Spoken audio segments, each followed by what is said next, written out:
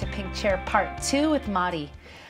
She is here with us again in the studio because we were talking about so many life changing moments, and her story is so powerful and it's like multifaceted. We wanted to touch on uh, about your meeting with your future husband, but first, let's talk about when you came to Las Vegas.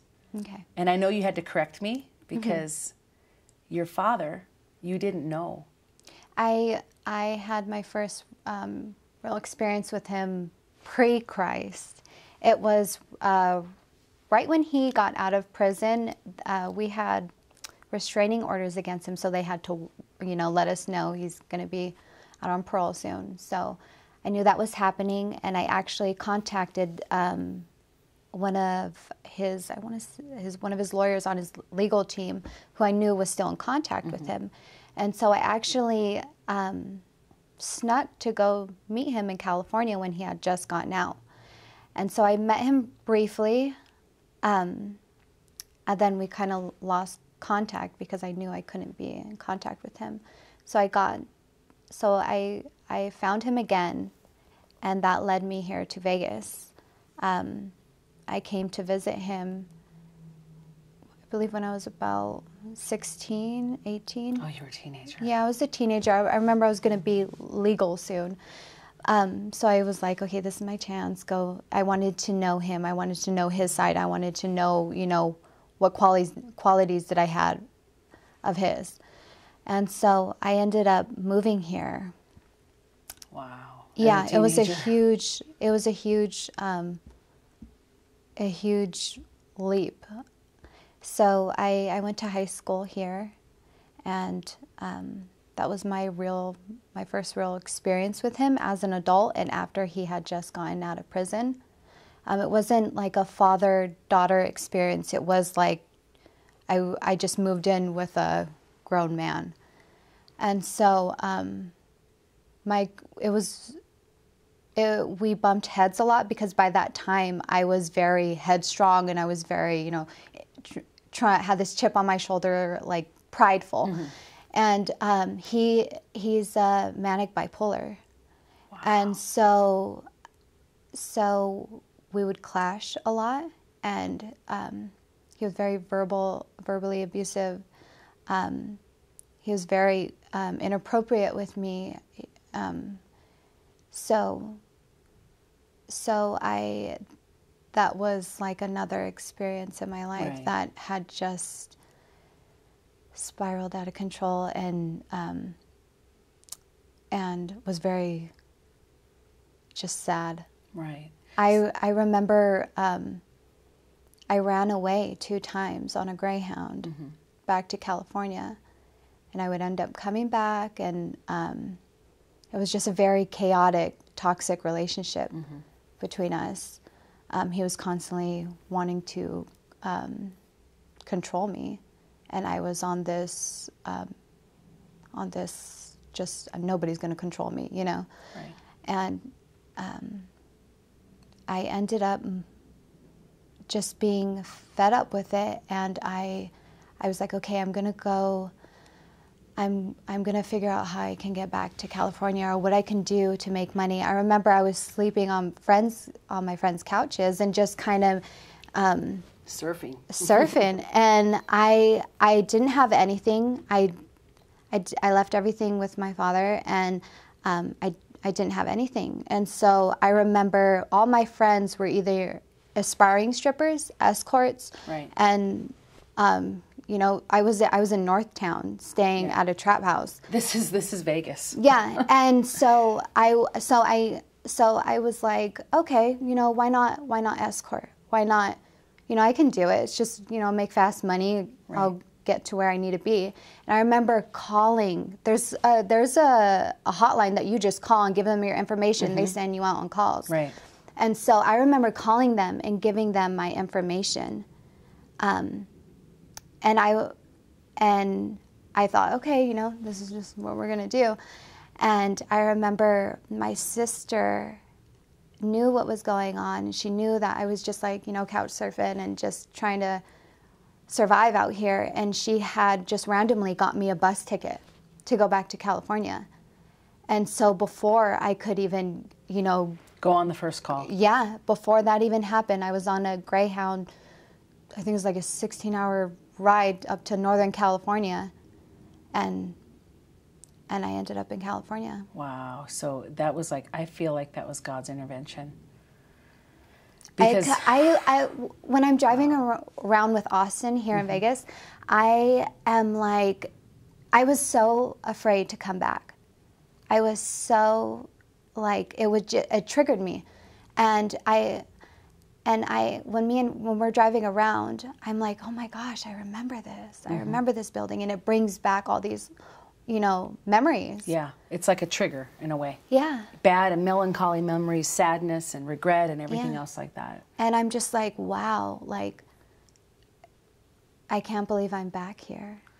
Yeah, so you know what? I love that you shared that you were about to become an escort because it's that simple. Like it's that simple. It's a need. It's like this thing inside of us that drives us where we need money or all our friends are doing it. You know, I and thinking, oh, it's yeah. no biggie. No, totally. That's and it's no like Mm-hmm. the lifestyle of Vegas anyway. that There's a lot of girls that get out of high school Yeah. that want to go to college and then they end up becoming strippers and they end Mm-hmm. up becoming escorts because that we are the highest per capita Mm. for the sex industry in the country. Mm-hmm. So that was like a normal thing that you could have easily just gotten into and then eventually I believe you probably might have been sex trafficked eventually Mm-hmm. because once you start escorting pimps show up. They always do because they're ready and waiting to exploit someone and take advantage of them. And how cute you are and beautiful. I just can't imagine what would have happened to you. I'm so grateful that she called and got you on that Greyhound. Yeah. Thank God for Greyhounds. Thank God. And her intervention. So, Thank uh, th- you know, Vegas is, yeah, you live here now. And how did you get here? So go to that story. How did you get back to Vegas, I should say? So, okay, so then I would, then I'd have to um, tell you how I met my husband. Oh, 'cause let's talk about it. He's the one who brought me back here. Um, so after I got finished with my chemo, and you know, you have to have scans. Uh, I was having MRIs every three months Mm-hmm. and um, checking my eyes and to monitor my tumor. And so I was on. So I was going to Stanford. It was on a Monday. It was October fifteenth, two thousand and eighteen, and I was, I was. I remember I was trying to get out of this appointment because I was like, I don't want to miss work. It's, it's the same. Like I'm good. And I was calling, I called three times trying to reschedule it and I couldn't get out of it. So I was like, oh, okay. And so I was, I went to have my testing done. And after my testing, I met Austin.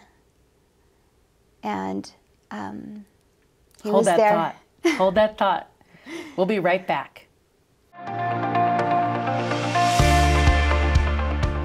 Many of you might not know it, but I had an alias. My name at one point used to be Fallon York. And in Las Vegas, I was a high class call girl. I worked for escort services in the 80s and the 90s, and I worked for hotel concierges. You wouldn't believe that, right? But it's absolutely true. In fact, I wrote a book about it Fallen Out of the Sex Industry and Into the Arms of the Savior. Do you understand about the sex industry's ties to sex trafficking? The entire time I was a call girl in Las Vegas, I was being trafficked. Every dollar that I earned from the buyers went directly to my pimps. To learn more about this, just go to our website and order the book Fallen at hookersforjesus.net.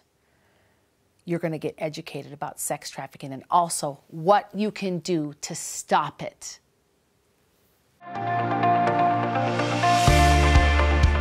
Welcome back to Pink Chair. Maudi is here sharing her story and how she met her husband. Her husband is actually someone that some of you might know.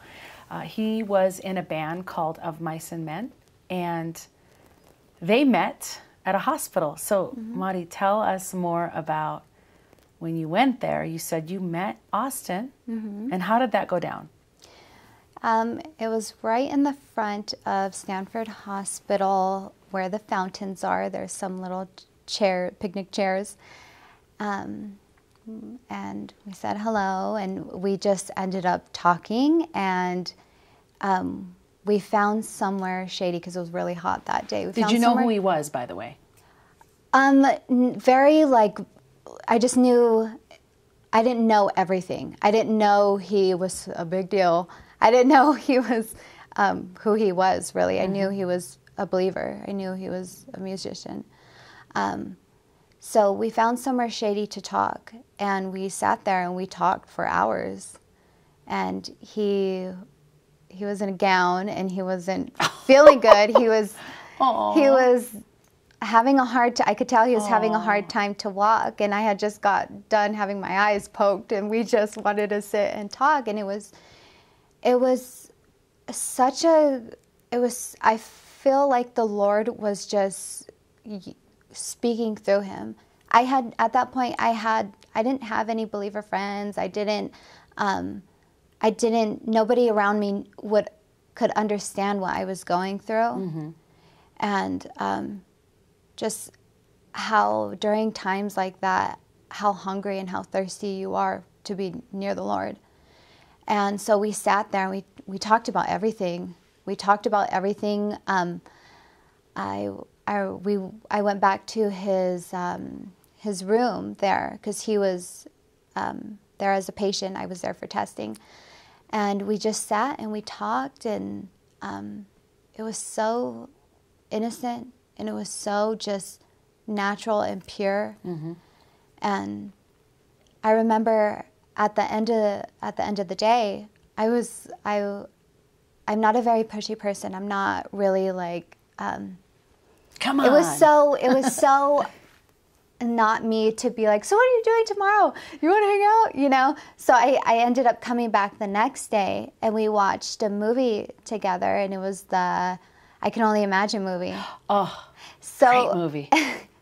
so um, I, I we sat there and we watched it. And I remember sitting, sitting in his little hospital bed with him, and I was like this, and just like, um, you know, Right. I, I, and I remember his gown, his sleeve was up, and I was wearing short sleeve, and my arm ended up touching his, and I, I, it was just so surreal how much I trusted him. Going from being,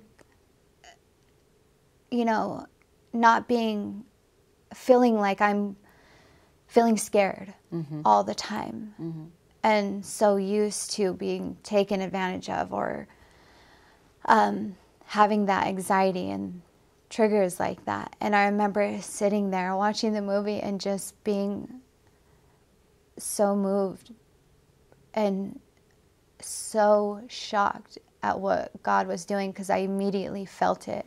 Right. I immediately knew that this was a God thing. You Something know? was re- happening. God was like making this like a situation where you felt you did you feel the Holy Spirit and Yes. also maybe safe. You felt safe. Yeah. And maybe even an attraction mm-hmm. to to the aura or to to His Spirit of mm-hmm. understanding you. Mm-hmm. It, it, the first day, I wasn't. I was. I was just thinking. I didn't think that it was anything more than a friendship, and I remember being so excited and leaving, like, "Oh, I have a friend. He's a believer, and he has. He's going through some gnarly health things like me, and he understands." And I remember driving home. It was like an hour and a half drive home, and, and just thanking God that He placed this person in my life. And then the next day, it was like, you know, I it was just an instant trust, an instant love. And, and through your difficulty, I mean, you've got this tumor, and Austin, you can say what he has.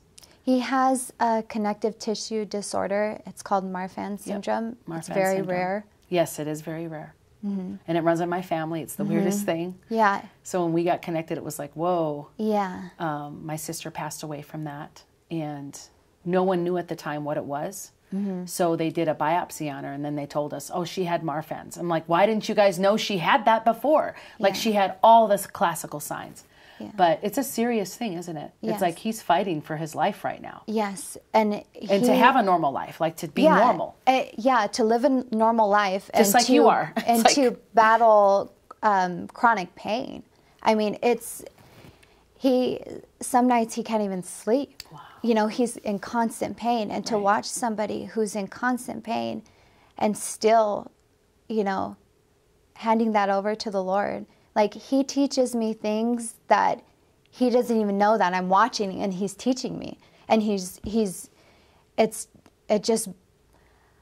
Before I met him, I remember telling my mom, like, I'm so happy being alone. Like, this is, I feel good. This is great. I feel great. I feel content. I'm happy.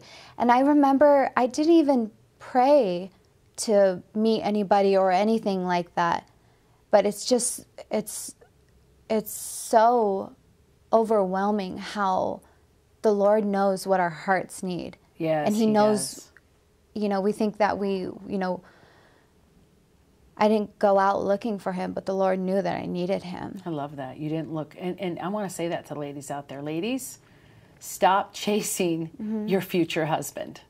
You will not catch him. Am I right or wrong? I Mm-hmm. mean, that's my personal experience. My Oh, yeah. husband found me. You cannot push it. You guys just met. It was like a totally God thing. Yeah. You weren't trying to be aggressive. He wasn't trying to be aggressive, Yeah. Mm-hmm. but God just went boom, put you guys together. And I want, I, when we come back, I want to talk about uh, how you guys got closer and then the proposal Okay. and how, how different that looked to you as you experienced it than what you thought it would be. Because our, our, you know, minds like for me, like it was like, oh, he's gonna get on his knees, he's gonna be wearing all white, he's gonna jump off the horse, and then he's gonna propose to me. Uh-huh. And it's like it didn't go down like that. Mm-hmm. It was better actually, mm-hmm. because that's the Disneyland mm-hmm. thought process. We always think we're gonna be treated like, oh, the cartoon says this, the story Yeah. says this. So I'm sure that there's a, an adventure beyond that because I saw some pictures on Instagram and I was like, oh my gosh. That's a fairy tale. so I'm excited to share that and have you share about it. So we'll be right back, you guys. You don't want to miss this. This is the finale, the last chapter of Maudi's story.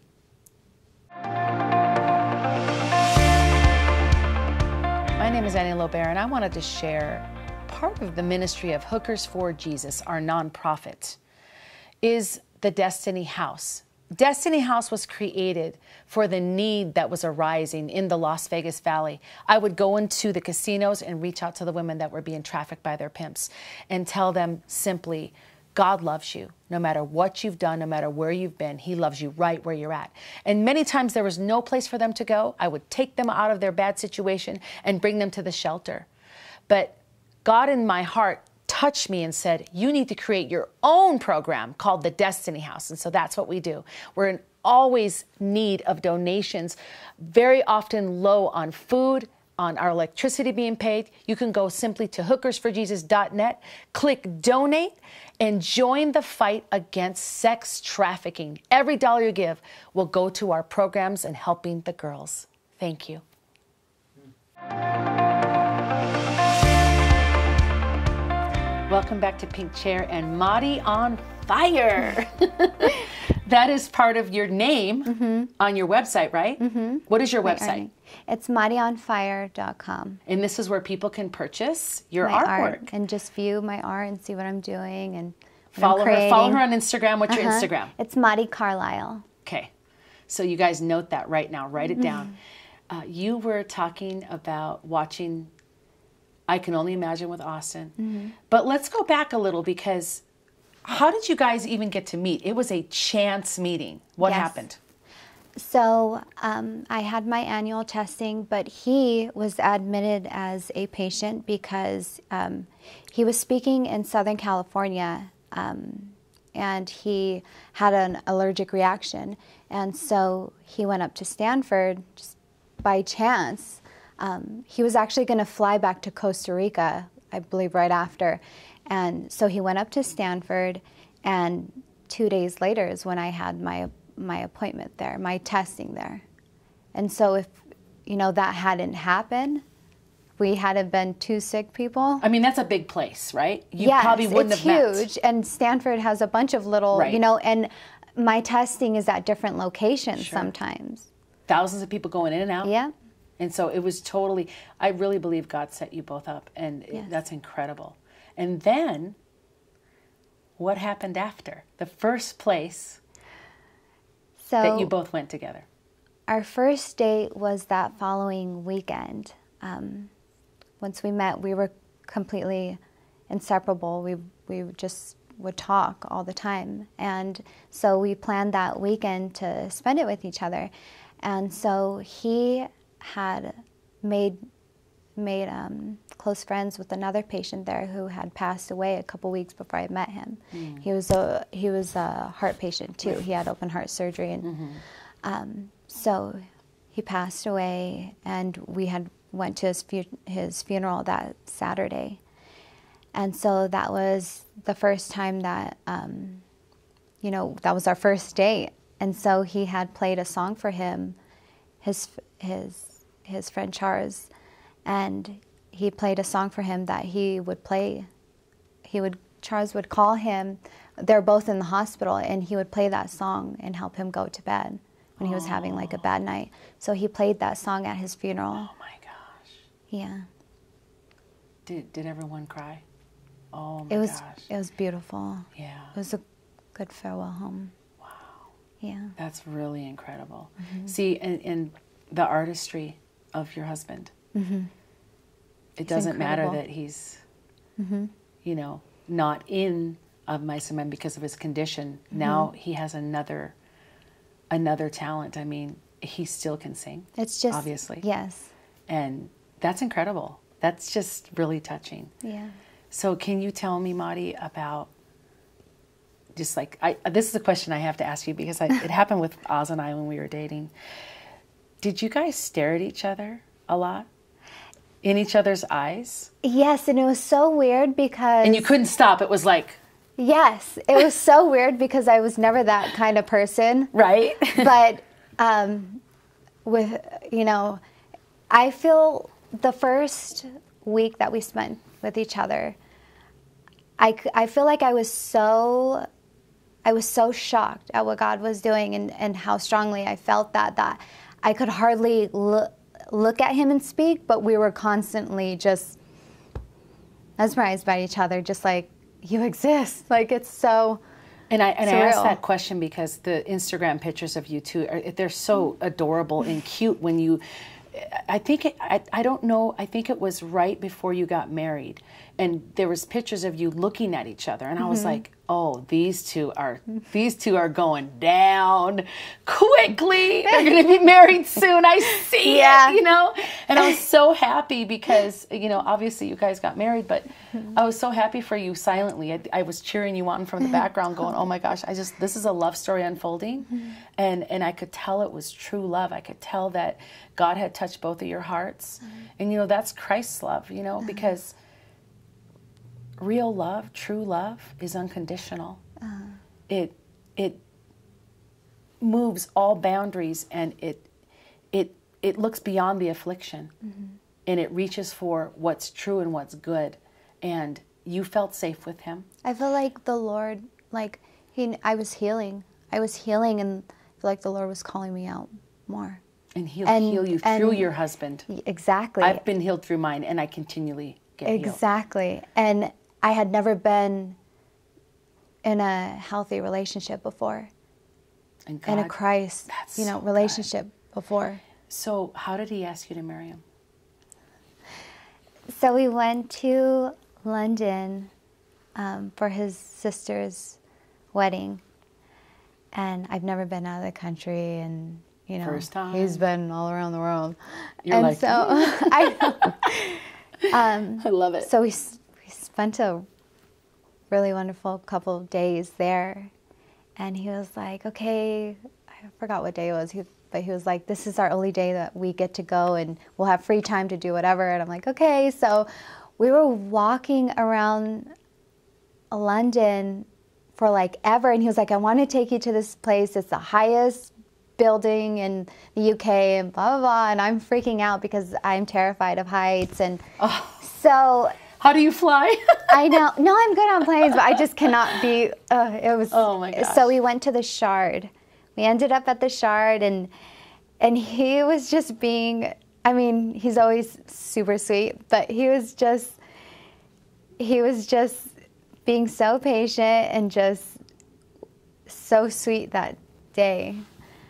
And I was like, "What Did is going on?" Did you suspect something? Not that, because I don't know. I I just I didn't expect that. And so we got to the very top, and I was just shivering because you can see right over and you're so high. And so he's like, come on, let's take a good picture. Let's make sure we get the background. And I'm like, okay. And he's like, somebody's going to come take our picture. And I was like, okay. I didn't even care. I was, couldn't even pay attention because I was so afraid. And so um, right before we take the picture, he brings out uh, this piece of canvas that my daughter made for him. It's a bunch of different colors of her handprints. And he was like, I wanted to bring love with us, my daughter.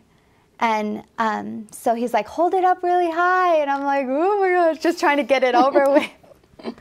and so he's like, okay, put it low. And, and you know, uh, by the time I put it low, a bunch of people are watching. There's a person with a huge camera. He put it low and he's on his knees.